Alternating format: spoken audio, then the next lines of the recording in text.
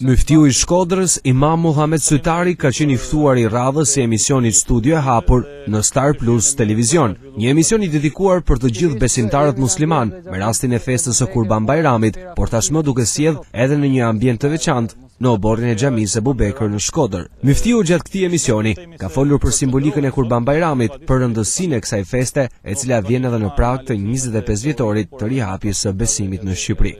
Po, sivjet ne kemi, jemi konsultu me imamët dhe me, meqenëse me 16 nëntor të këtij viti, ne përkujtojmë 25 vjetorin e rihapjes së Xhamisë së Plumit, që është një vit jubilar për ne, një ngjarje jubilare dhe një datë shumë e rëndësishme, që bart në vetvete dy simbolika të shenjta, po them të shtrenjta pa të shenjta, simbolika e, e rikthimit të njerëzve, Tek besimi i lirshëm pas njëzet e tre viteve, ma e pakta, si periudhë kur shteti ndaloi me ligj... Aty ku një e zyrtarisht. Domethënë dëshmitë edhe aktivitetin fetar. Dhe e dyta, simbolika e rihapjes së një xhamie. Gjatë kësaj bisede myftiu Sytari Ka folur edhe për fatin e Xhamisë së Plumbit, një monument kulture por që është harruar nga shteti. Megjithatë, gjatë vitit të ardhshëm pritet që pranë këtij objekti kulti të nisin punimet për rikonstruksion.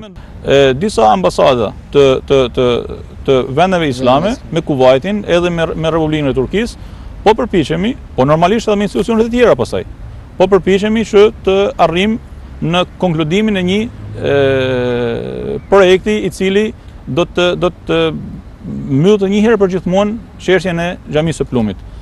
Në bashkëpunim me Tikën, ka disa muaj që kanë fillu punimet për analizimin e, e, e, e, e shtresave të dheut e e e folën për drenazhimin e për nër, për ndërtim, domethënë analizimin e e, e gurëve dhe mm. krejt ndërtesës dhe besoj se në fund të këtij viti ë do të ketë një analizë përfundimtare pas së cilës i hapet e, i hapet e drejta e